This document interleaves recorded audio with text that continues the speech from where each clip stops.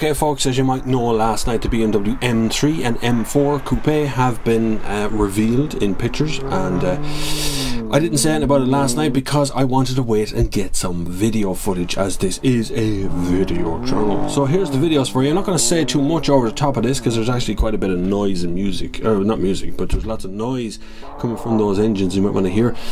But just having a quick glance through the press release here. Um, it is worth a few mentions here as it is. They're talking about the BMW M philosophy being carried over to the M3, and for more than 40,000 examples of the fourth generation M3 Coupe were built, and now the M4 Coupe is poised to continue the success story. Wow.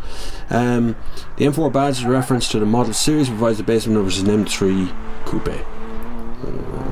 Uh, sorry, I know BMW won't type for that one, but you know, it is. Um, Four generations of the BMW M3 have blended motorsport genre and uncompromised everyday usability within an emotionally rich overall concept, explains Dr. Friedrich Nitschke. I can't pronounce that. Uh, he's the president of BMW, anyway. Um, there are some small details in it as well. The engine is the heart of every M model, and a new turbocharged, turbocharged six-cylinder unit fitted to the two new cars combines the virtues of a high-revving, naturally aspirated unit with the strengths of a turbocharger technology. A committed lightweight design concept produces a weight saving of around 80 kilograms over the outgoing M3. The BMW M3 and M4 take motorsport technology from the track to the road, and thousands of laps of legendary Nürburgring, uh, the world's most exacting racetrack. Exacting. Hmm, what is that exciting? Uh, I would have. Mm, oh, should have written this press release. Um, I've read new models for that transition. Meticulous and passion-fueled development work has underpinned the creation of the two performance sports cars that set new standards in terms of overall concept, precision and agility. And I read, again I read from the BMW press release that came out uh, yesterday, I think. Um, it looks exciting. Uh, the M4 actually looks more exciting than the M3. Strangely, I really like the look of that. But anyway, I'm going to shut up now and just let you watch the rest of the video with all the noises and all the bits that are happening in the background. Until I have a new video out very shortly, I shall see you on far